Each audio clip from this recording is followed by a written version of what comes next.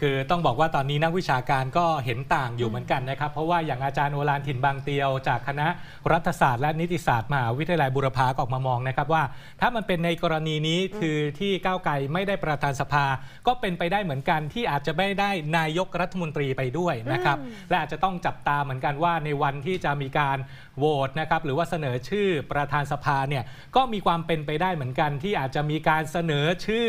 บุคคลท่านอื่นขึ้นมาด้วยนะครับค่ะซึ่งตรงเนี้ยถ้ามีการเสนอชื่อจริงนะครับ อาจารย์ก็ยกตัวอย่าง อาจจะเป็นชื่อของคุณชวนหลีกภัยอ๋อเสนอขึ้นมาอาจจะทำให้มีการพลิกเกมด้านการเมืองกันได้ด้วย ก็ต้องจับตากันด้วยนะครับ ครับประเด็นนี้หลายคนก็ยังคงติดตามกันอยู่และวันนี้ก็น่าจะมีความชัดเจนแล้วนะครับ เรื่องของการโหวตเลือกประธานสภาเนี่ยนะครับ ทีนี้มาเล่าให้คุณผู้ชมฟังเพิ่มเติมแบบนี้สำหรับคุณผู้ชมที่อยากจะรู้ว่าเอ๊ะวิธีการโหวตเลือกประธานสภาเนี่ยเขาโหวตยังไงต้องบอกว่าวิธีการโหวตเนี่ยจะแตกต่าง จากการเลือกนายกรัฐมนตรีนะครับ โดยถ้าหากว่ามีการเสนอชื่อมากกว่า 1 ชื่อ ก็จะต้องมีการลงคะแนนเสียงของสส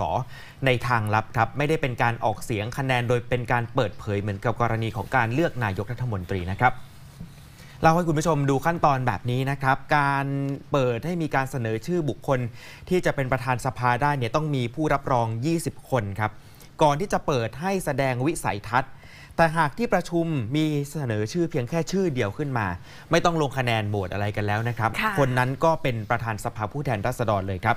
แต่ทีนี้ถ้ามีการเสนอชื่อแข่งกันมากกว่า 1 คนแล้วเนี่ยก็ต้องมีการโหวตลงมติครับ โดยในการลงคะแนนจะให้มีการคัดเลือกกรรมการตรวจนับคะแนน และในการลงคะแนนก็จะให้สมาชิกมาลงคะแนนครั้งละ 20 คน เรียกตามตัวอักษรโดยไม่ได้มีการประกาศรายชื่อ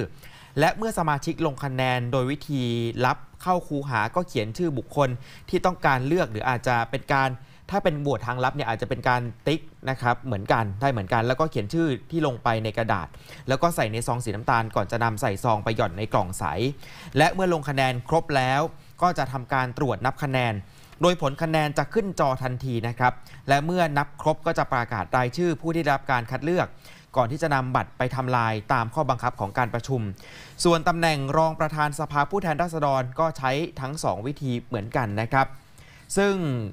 การออกเสียงลงคะแนนลับนะครับ ถ้าเกิดว่าเป็นการลงคะแนนเสียงแบบทั่วไปเนี่ยนะครับเขาจะเป็นลักษณะของการที่ให้สมาชิกเขียนเครื่องหมายบนแผ่นกระดาษใส่ซองที่เจ้าหน้าที่จัดให้ อาจจะเป็นเครื่องหมายถูก คนที่เห็นด้วยนะครับ ผู้ไม่เห็นด้วยก็ให้เห็นเครื่องหมายกากบาท ส่วนผู้ไม่ออกเสียงก็เขียนเครื่องหมายวงกลม แต่ถ้าเกิดว่าเป็นอย่างของประธานสภานี่อาจจะใช้วิธีการเขียนชื่อก็ได้นะครับ โดยเมื่อจบกระบวนการเลือกในวันนี้เสร็จสิ้นแล้วครับเลขาธิการสภาผู้แทนราษฎร ก็จะทำหนังสือแจ้งรายชื่อ ผู้ได้ตำแหน่งประธานสภา